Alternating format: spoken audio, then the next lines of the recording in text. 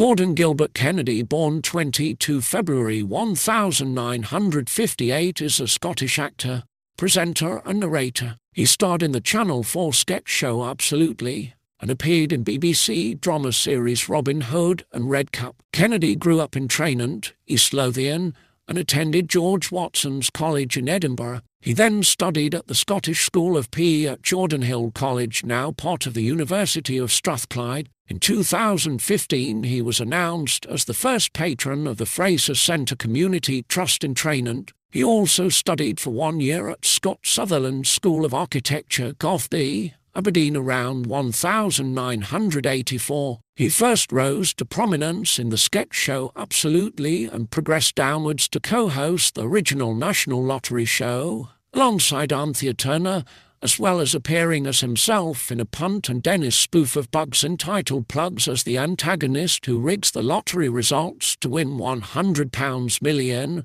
and an eight-week rollover. He has appeared in several dramas, including the role of Sergeant Bruce Hornsby in the BBC drama Red Cap. He has also appeared in the BBC Scotland soap River City. From 2006 to 2009, he starred as Little John in all three series of the BBC production of Robin Hood. From 2010 to 2012, Kennedy narrated the British edition of Kitchen Nightmares encompassing 26 episodes, replacing the US narrators J.V. Martin and Arthur Smith for the UK. Alongside his acting career, Kennedy is a rugby coach with London Wasps. He has also appeared many times on Test Match Sofa. His elder brother Ewan Kennedy played rugby union for Scotland, winning four cups between 1983 and 1984.